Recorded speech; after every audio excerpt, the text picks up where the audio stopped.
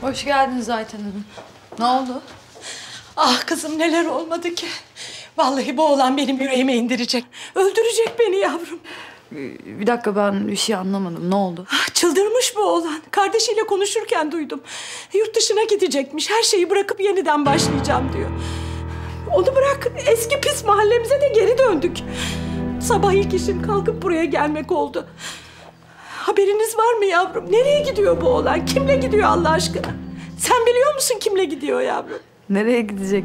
Sevgilisiyle kaçıyorlar. Tahmin etmiştim. Haberiniz yok demek. Ama ben vefasız biri değilim. Bunca yıllık dünürlük yaptık. Elimizden tuttunuz.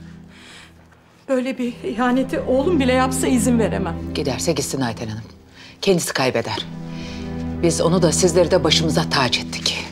Eğer kendi kız kardeşine, kendi annesine bunu reva görüyorsa o fare yuvasını kendisi bilir. Ben de söyledim. Topla kendini oğlum. Aklını başına al dedim.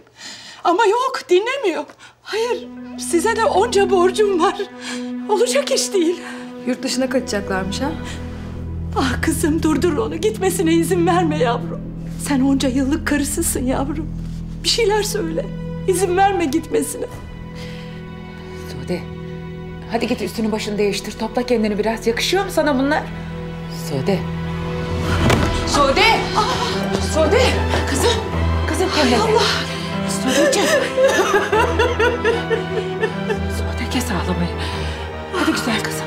Ağlama bebeğim. Söylemese miydim acaba? Neticede karısı o da. Ayten Hanım. Bana Bulut'un gideceği günü saati hemen öğreneceksin. Sen de hemen. Bu işi çözersek ikimiz çözeriz. Anladınız mı beni? Tamam. O zaman anlaştık sizinle. Sizden haber bekliyorum. Peki. Kızım, Ayten Hanım'a yolu göster.